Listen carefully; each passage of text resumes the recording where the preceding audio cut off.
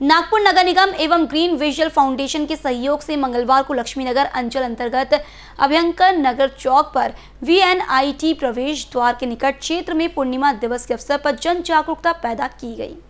जागरूकता अभियान के दौरान ग्रीन विजुअल फाउंडेशन के स्वयं सेवकों ने स्थानीय व्यापारियों और प्रतिष्ठानों का दौरा किया और उन्हें बिजली बचाने का महत्व बताया और नागरिकों से कम से कम एक घंटे के लिए अनावश्यक बिजली की लाइट बंद करने की अपील की।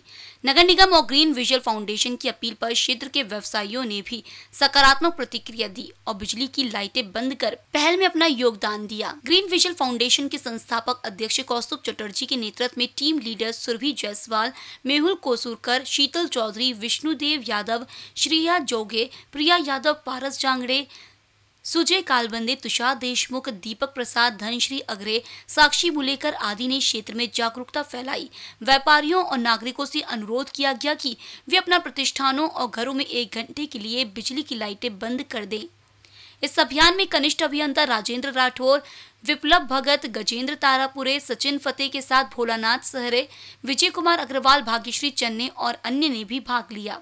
कैमरा पर्सन राजकुमार मोहर के साथ अभिषेक पानसी बीसीएन न्यूज़ नागपुर।